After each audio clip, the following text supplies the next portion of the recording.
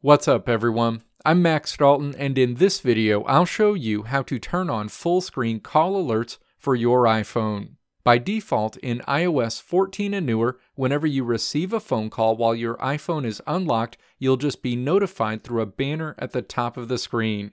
This is a change from older versions of the iPhone operating system where no matter what app you had open, incoming calls would always appear via a full screen alert when your phone was unlocked. If you want to revert back to getting a full screen alert for phone calls whenever your iPhone is unlocked, you can do that with a few quick taps. Now let's walk through the steps to enable full screen call notifications for your iPhone. Step 1. Tap the Settings app on your iPhone home screen to open the Settings menu. Step 2. Scroll down and then tap Phone in this menu. The Phone menu is displayed.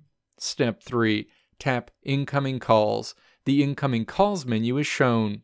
Step 4. Tap full screen to place a checkmark next to that option. Going forward, whenever you receive phone calls while your iPhone is unlocked, you'll receive a full screen call notification rather than a banner. Let me know if this video helped you out in the comments below. If you liked what you saw here, click the video links on the right side of the screen to check out another video. Or click the logo on the left side of the screen to check out my tutorial website at www.maxdalton.how.